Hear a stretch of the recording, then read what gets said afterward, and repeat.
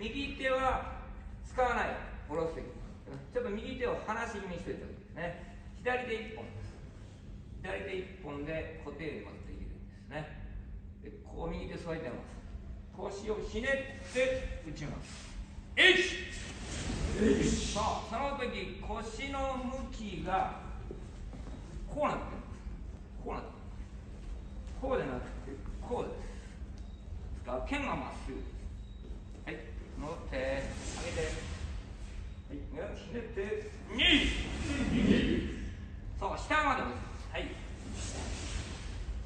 面と打たないで合気の弦はぐっと下まで広げこうなるここも本当はそうでしょえー、こうこうこういっちゃうとね抜けちゃうおお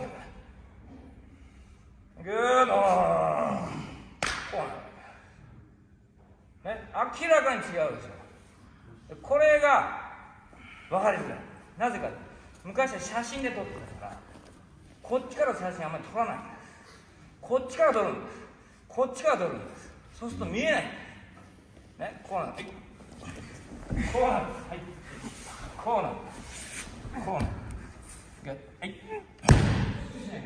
それが一つの集中力なんだ脱